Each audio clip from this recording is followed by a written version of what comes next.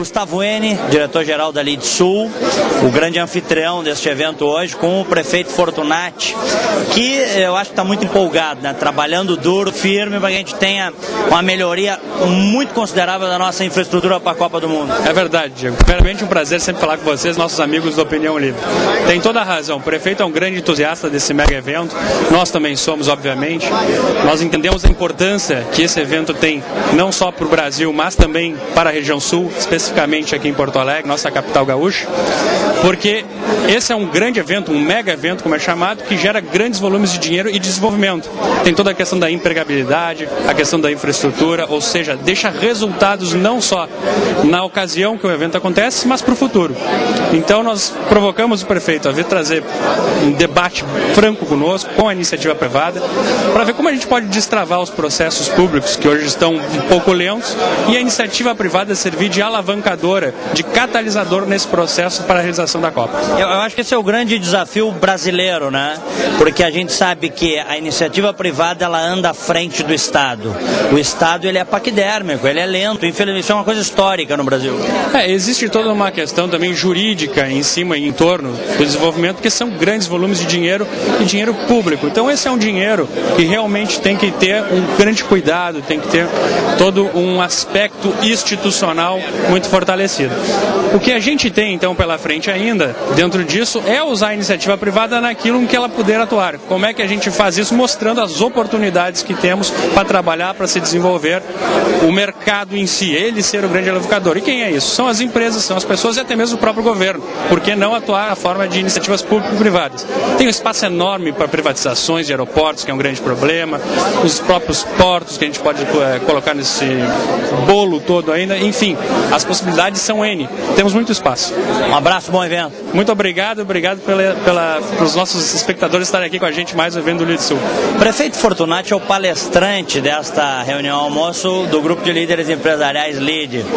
E eu sempre digo, né, que talvez tu sejas o prefeito mais empolgado em cuidar, em fazer uh, em prol da cidade que eu já tenha conhecido, Fortunati. Essa tua empolgação continua à medida que se aproxima a Copa do Mundo, né? A empolgação continua, aumenta a preocupação, mas a empolgação continua. E cada vez mais convencido, Diego, de que a gente só vai conseguir preparar uma grande cidade nas melhores condições se o poder público estiver realmente associado, emparceirado com a sociedade, os empresários, com a população, orçamento participativo, ou seja, todo mundo pensando no mesmo sentido, com o mesmo objetivo. Por isso estou aqui, porque aqui estão empresários sérios, empreendedores, que sabem que a Copa do Mundo é um, é um, é um evento que não reúne simplesmente equipes de futebol, mas é uma grande oportunidade para que todo mundo possa investir, desenvolver negócios que permanecerão depois da Copa. O, eu acho que é importante, eu acho que tu tens feito, não é, Fordão, muito essa reflexão. Diga assim, ó, uma Copa do Mundo, uma Olimpíada, esses grandes eventos, eles são importantes, mas eles não resolvem os nossos problemas. É, a gente tem que aproveitar a onda para melhorar a infraestrutura, a fluidez do trânsito e outras coisas. Mas sem ilusão. Acho que o, a, a, a fase da ilusão que muita gente viveu passou. Isso acontece no mundo inteiro, né? É verdade. Eu tenho, sou muito cauteloso nas minhas afirmações afirmações em relação à Copa do Mundo. De um lado, sou entusiasta, aposto muito que a cidade pode se transformar, mas sabendo que essa transformação, ela naturalmente, ela tem limites. Então a grande questão é, a grande sabedoria talvez de todos nós, é sabermos aproveitar a oportunidade, sermos ousados, mas sabermos também que temos que ter os pés no chão, não cometendo nenhuma barbaridade do ponto de vista do investimento público ou algo que, passando a Copa do Mundo, não fique como um grande legado para o cidadão.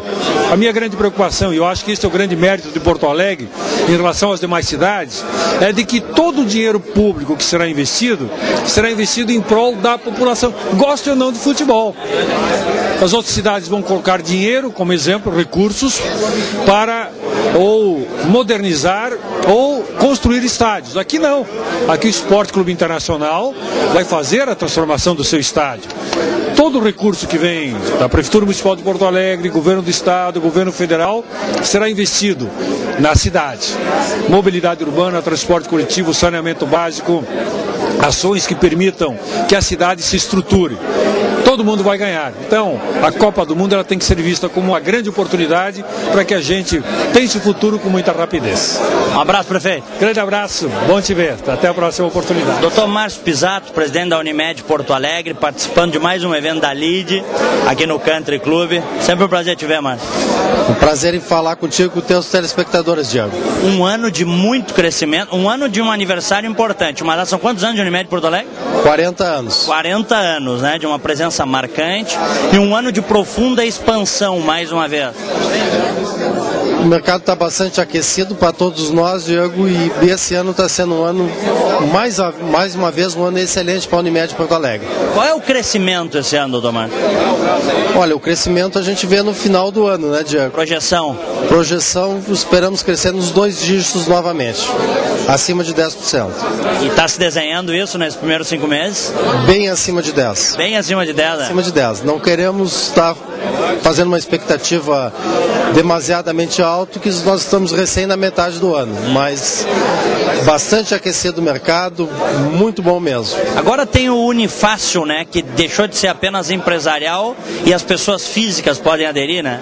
É, nós lançamos esse ano o produto Unifácil Flex, que é para o público de pessoa física.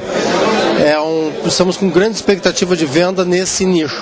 E também em breve lançaremos um produto para o topo da pirâmide, um produto top. Mas já tem nome?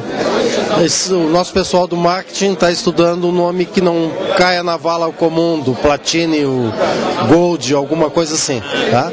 Então, é uma coisa absolutamente diferenciada. Muito diferenciada, já estamos com parceria com os hospitais e com laboratórios para dar um produto realmente muito diferenciado aqui para o público VIP aqui da, da nossa área de ação. Um abraço, doutor Márcio. Um abraço, mais uma vez, prazer de falar contigo, Diego.